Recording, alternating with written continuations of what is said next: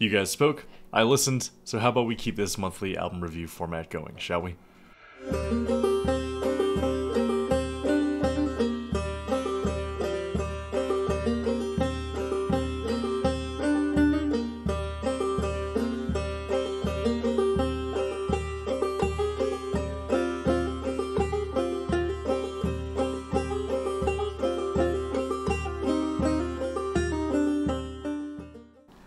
Get into the reviews today, I just want to remind you guys of the existence of the Nordic Sound Channel's Patreon page.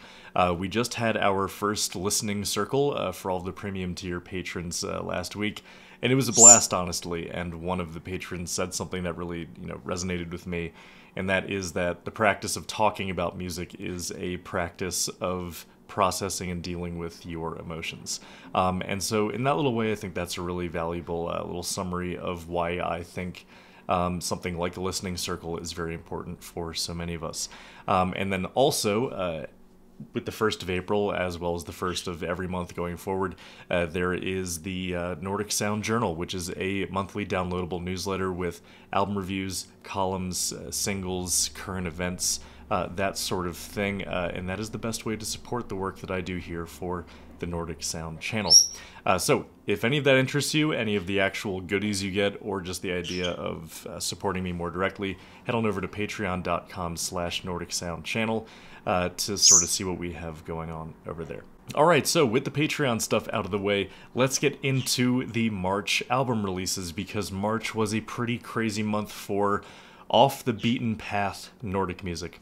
Starting, of course, with Lindy-Fay Hella and Dei Farne's Islets album. So I did not even attempt to cover up my excitement for this album. Ever since I saw the uh, artwork, I knew that this art belonged to something that I had to listen to. Um, and even with those high expectations, this album delivered in every way. So, as a longtime fan of Lindy-Fay Hella's work with Dei Farne ever since Seafarer uh, back in 20, was that 21? I think it was 2021. Uh, I feel that I can confidently say, as someone who's listened to all three of the albums so far, that Islet is this collaborative's best work yet. So, as I sort of alluded to in my interview with Lindy-Fay from a couple weeks ago, um, the word that keeps jumping out to me about this album is melancholy.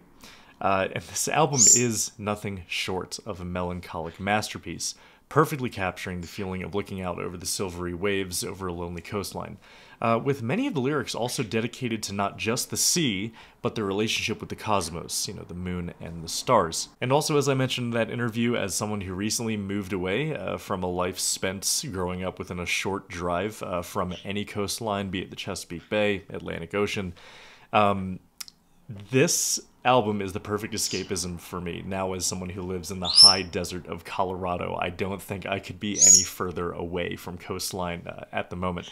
Um, and so this album also serves that special little place uh, for me to sort of, if I sort of miss the smell of brine uh, and I need to feel like I'm sort of watching the ocean, uh, this album has just put me right there. And that is something that's not easy to accomplish when you are writing and producing music. So back to the music itself, Lindy-Fay's voice and lyrics are probably at their most heartfelt and intimate they've been in any of the three albums so far.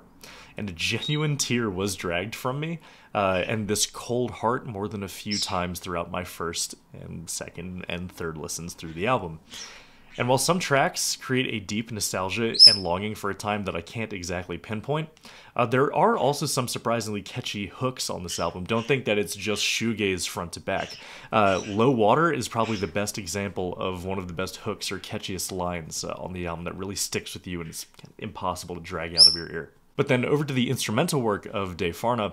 Uh, this is also probably their best work yet, uh, particularly their tasteful use of melodic synths uh, and their ear for ambient effects.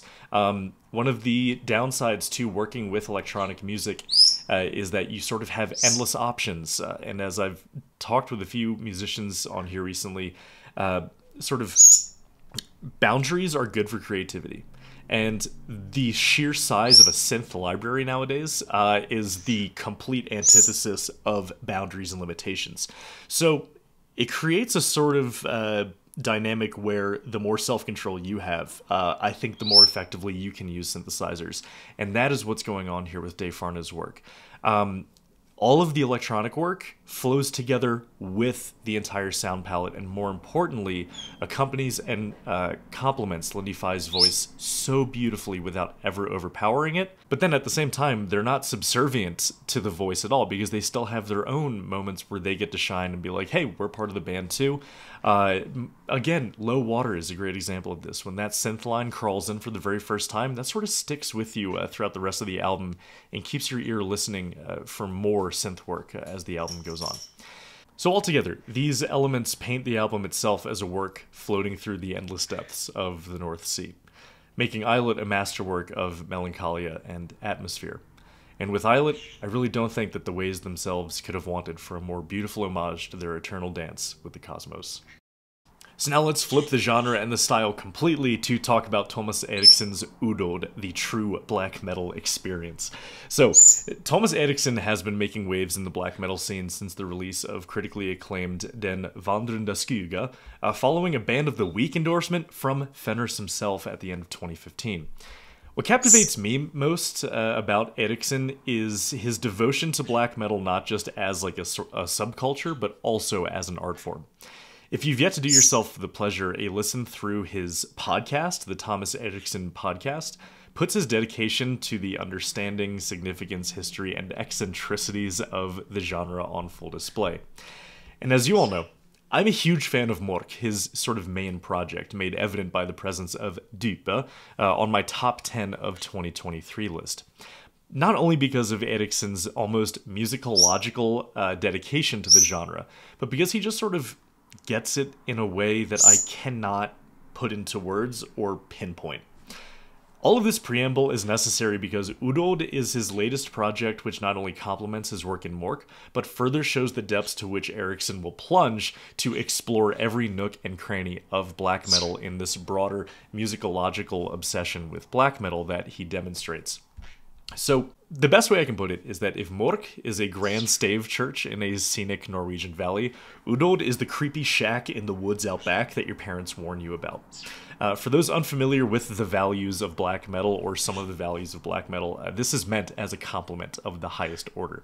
So, where Mork's music weaves its layers and textures throughout the listening experience in this elegant form of arts like a tapestry, the experience of Udåd is a cold, lonely, austere experience that sort of reminds you instead of this beautiful, intricate painting, it's like the creepy, cryptic engravings left on the walls of that wooden shack in the woods.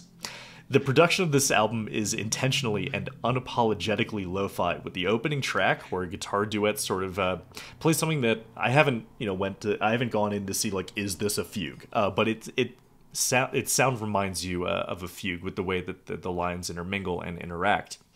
Um, but even though in something like a fugue, it's very important that you hear all of the voices and how they play together and how the lines work, leaves it fully distorted with only barely enough definition to just kind of uh, make out the notes. Uh, and so with a fugue, that's sort of like the most black metal way you can approach a fugue. It's like the notes are there, I'm just going to distort it to hell so you can't actually tell what they are. And then from there, from the opening moments until the last, Udåd is a chilling, haunting experience that leaves me begging for more. You all know how much I lament the one dimensional nature of mainstream music production, uh, and that includes heavy metal, uh, that leaves too many albums sounding the same. Uh, and this, this is the answer that I crave an original sonic experience that utilizes the strengths of the genre to create something truly unique and memorable from a sonic perspective. So, Thomas, well done with Udåd. I would love to have you on the channel because uh, there's a lot to talk about in here. I told you guys this was an eclectic off the beaten path month, so let's flip over again to traditional Danish bagpipes. So, according to Mads Kjøller Henningsen uh, of the incredible Floating Sofa Quartet and Spøke i Køkka, uh, is the first Danish album to feature the Scandinavian bagpipe in a leading role. But this is just one aspect of Rundt Segen which adds to its historical and musical significance, for it's also an album featuring 12 tunes from the great Niels Niller Erik Rasmussen, one of the only members of his generation left still playing on Danish pipes today. So each of these 12 tunes are inspired uh, by stories and landscapes around the area of Segen, uh, hence the name. which is a small region on the island of Bornholm. Longtime listeners of this channel will probably recognize uh, Bornholm, uh, especially if they are fans of the musical Lorentzens, uh, Emilia and Jonas. You guys will be very familiar with the music of Bornholm. So, also according to Henningsen, the approach of recording and mixing this album, done by our friend Jakob Hilund, uh, was the one that captured the ragged and imperfect spirit of traditional dance music. I believe this approach also maintains a level of listenability, uh, as 30 minutes of straight bagpipe tends to wear on listeners after a while uh, which I find is exacerbated even further if the bagpipe is too cleanly recorded. If you just get 30 minutes of incredibly polished nonstop bagpipe that's going to wear on you, even if you swear that you are the most dedicated follower of the bagpipe. But not once when listening to Rundt Segen, however, did I even glance at a timestamp. Uh, for the whole experience, whisked me away to the Baltic and had a playful air about it that kept me engaged throughout the entire album's runtime. So for anyone looking to further explore uh, the endless varieties of traditional Scandinavian dance and folk music, I highly recommend Rundt Segen uh, for not only its addition to esoteric folk records, which I always gladly welcome, but also for the remarkable level of musicianship on the album from all involved. All right, now let's get proggy with Iterum Natas from The Infinite Light. The spirit of 70s prog is alive and well in the latest installment from Jesse Heikkinen. Uh, this was easily the most daunting album review to approach this month for me, just because of how eclectic, avant garde, off the wall this whole record is from front to back but I finally learned to embrace the chaos of From the Infinite Light once it clicked with me that this was a prog rock record at its very core, in my view at least. So, one of my favorite parts of teaching music appreciation here at CU Boulder is the week or so we spend on prog rock of 70s and 80s, because of just how weird it is to the current generation of students, but in a productive way that really shakes up their expectations of what to expect from rock or heavy metal. But maybe even more importantly, I admire the prog subgenre's dedication to the idea that a full length album can develop narratively in the same sense of an opera or a symphony to tell a sonic story which From the Infinite Light delivers on impeccably. And therein lies a fascinating contradiction of From the Infinite Light. It is incredibly varied in its composition and does, in fact, keep you on guard, wondering what you're going to hear next. But at the same time, there's this unifying force that I cannot pinpoint exactly. The overture kicks off the album with a very Danny Elfman esque composition using an audacious harmonic palette that tells you you're in for one hell of an avant garde adventure throughout the album. But just as soon as you settle in for that, sort of being like, okay, this is an avant garde, a very progressive experience, uh, this Gleaming Eternity gives you, which is just the second track, gives you an absolute banger of a straight prog rock tune with the bass line that absolutely slays. And so then you're like, oh, so the overture was just weird, and now we're in, now we're in sort of this prog rock area. But then a manifested nightmare kicks in on track number three and gives you black metal vibes constantly over the chorus before you're back in the avant-garde world of Ambrosia with a tantalizing vocal number. This is just the first half of the album where you're going through just this much stylistically. Uh, and that's sort of why I love prog so much. It keeps you on your toes. Now, while this might sound daunting on paper for those of you not really accustomed to that prog experience, I assure you that this album somehow remains cohesive in spite of all these varied elements. That's the sort of artistry of prog, in a sense. Take as many conflicting elements as possible and try to thread them together into a coherent album. It's what always keeps me coming back to the genre, whether it's Opeth, Baroness, Late Sword, or now Iterum Nata. It's such a rich listening experience that gives you something new to appreciate with each repeated play. So now let's tread some uncharted waters here for this channel with some jazz. Folk jazz. From the Nils Økland Band's album Gjenskinn.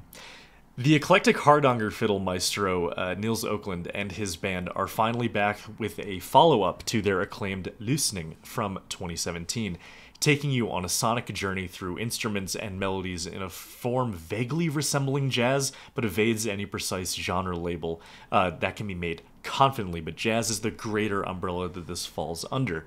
The personnel on this album includes Rolf Erik Nystrøm on sax, Sigbjørn Apeland uh, on organ, Håkon Mørch Stene on percussion, Mats Eilertsen on double bass, and of course the legendary Nils Økland himself on fiddle.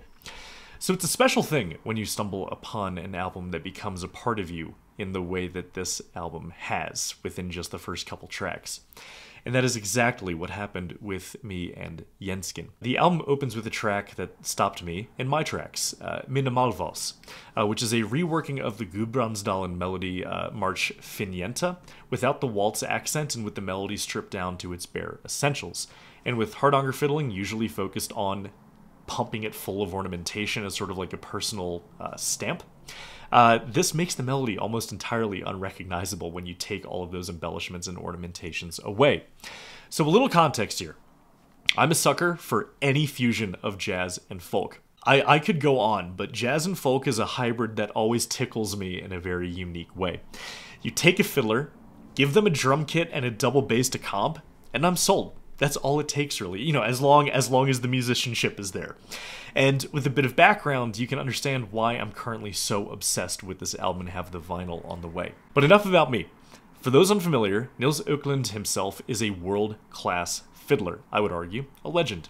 And with this incredible band backing him up, there's really nothing he can't do if he sets his mind to it, with Gjenskinn putting this versatility on full display.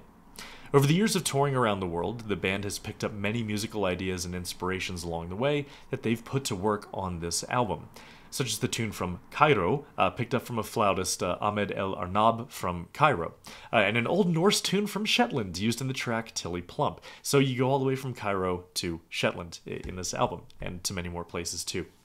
So the variety of soundscapes, styles, and timbres you hear on this album are astounding but without giving you stylistic whiplash that you tend to get from fusion albums of a similar nature or prog, uh, right? You get that stylistic whiplash pretty easily, or you can.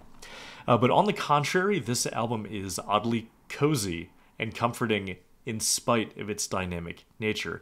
If you think of the whole weird subculture of lo fi music here on YouTube, what makes it cozy and comforting is its lack of dynamics. You put a, uh, a, you put a high cut filter on everything. You make sure it's very calm, repetitive, and that's why people put it on while they're doing menial tasks. So the idea that something this dynamic can also be comforting sort of goes to show that lo-fi or comfort doesn't need to just be monotone, right?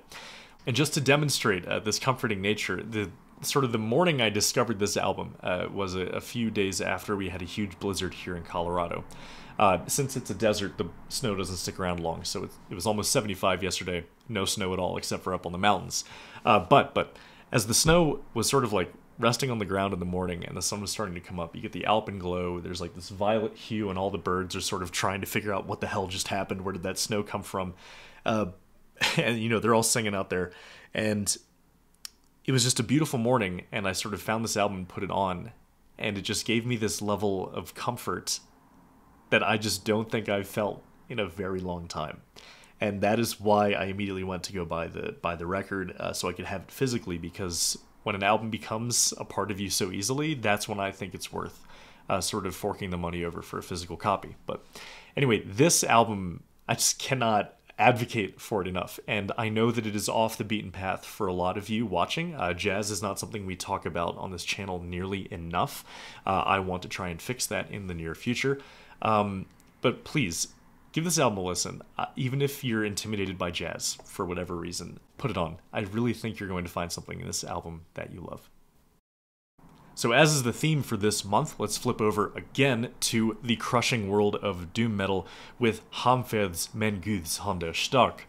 So, the Faroese outfit Hamferð is back with a follow up to their 2018 uh, Támsins likam. Apologies, do not speak Faroese, hope that's even remotely correct, uh, with powerful, brooding work of pure elegiac doom. With Jón Aldará, uh, also of Iotunn, at the helm with his dynamic voice, able to switch seamlessly between powerful growls and soaring cleans in a way that very few can, Hamferð comfortably sits in the same doom niche as bands like My Dying Bride and Pallbearer. But don't let that comparison fool you into thinking that their music doesn't stand on its own. While their straight up Doom sections march forward with all the glacial brutality you want from a Doom album, uh, their personality most clearly shines in the striking contrast they display between their clean and heavy sections. One track you can fall entranced into is the ethereal balladry of Glæman, uh, but then find yourself dragged along with the filthy mammoth march of Hvølja, uh, and of course, in some tracks such as Ábær or Fendreygar, uh, my personal favorite, you get the same contrast all at once between just the verse and the refrain. The clean sections of their songs allow Hjalm to fully stretch his wings while showing the band itself to be fully dynamic enough to execute these vastly different styles without any stumbling. Further, the contrast makes the pure Doom sections of this album all the more brutal. So, in summary, as a huge Doom guy, this album pretty much checks all of my boxes, stunning album artwork, of course, included. The artistry is top notch, the lyrics flow smoothly with the music, the riffs crush absolute face, and the melodic sections are absolutely captivating. While I'd love to see even more of those more heavy Doom sections in future albums, that doesn't take away anything from my appreciation of Menguth's Gud Stark uh, as it is, a work of art that I see myself returning to time and time again. Okay, now to remind you guys that I have not completely forgotten about the core audience of this channel there's a new dark folk, new age, independent, whatever you want to call it, album from the Swiss duo Nordstille called Odrüngal. So in my interviews on the channel, you're probably quite familiar with the well-worn conversations I have with other musicians in the dark folk scene regarding the sameness of the genre, and how a lack of originality or daring in new musicians can lead to a complacency that's bad for the genre overall. As this conversation tends to focus on the rut without acknowledging those trying to break the mold, I want to use this review here to spotlight a group that is doing just that, Nordstille's Odrüngal. So about their music, the Swiss duo writes, a music project born with the, with the desire to reconnect with the invisible, the hidden treasure, forgotten things. Our music is all about nature, devotion, and honesty. In this very loud world, and this is the important part, I think, in this very loud world, we wanted to create something reduced to the really essential, something where you have to be quiet in order to hear. Our songs have not the typical structure of a verse, chorus, and bridge. It's more like telling a story through music. We want to take people on a journey of ethereal beauty. So, to this end, it is really impressive to me just how minimalist Nordstille's approach is to the music on Odrüngal, while still managing to keep my attention the whole way through. While the instrumentation is bare bones between bells, gongs, and the buka uh, where this duo really stands out is in their use of harmony remin- reminiscent of early medieval organum or chant, something oddly underutilized in a genre that is so obsessed with that time period. Uh, and in this way, their soundscape bears a striking resemblance to Trio Mediæval at points, a group I also adore. And while the album has some of its more avant garde moments, the track Round comes to mind, this album is utterly spellbinding, in my opinion.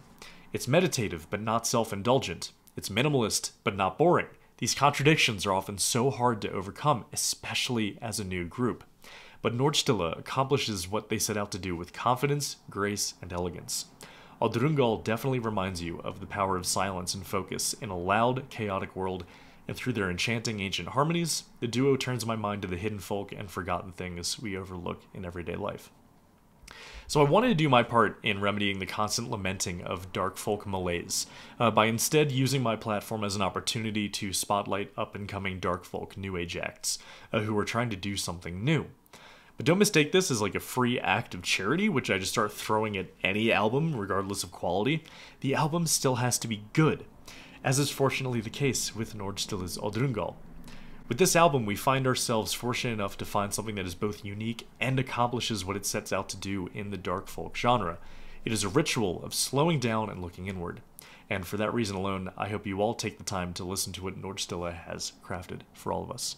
Alright guys, and with that, that is the very last album I'm reviewing for this month. April is not looking to slow down at all compared to March. Uh, what, we've got uh, Tyr, Korpiklaani, Kati Rán, uh, Wardruna has a new single coming out Friday. I don't know if that's before or after I post this, but the Nordic music train never stops rolling. So, thank you guys so much for watching. Thank you for giving me feedback on what album review format you prefer. Uh, I'm definitely going to be keeping this one around, as with the Nordic Sound Journal and uh, the Medium uh, articles for those of you who really need it uh, written so you can read it on your own time without clicking through YouTube interfaces. So, Thank you guys so much for watching. Uh, take care, and I hope you guys have a great month. See you next time.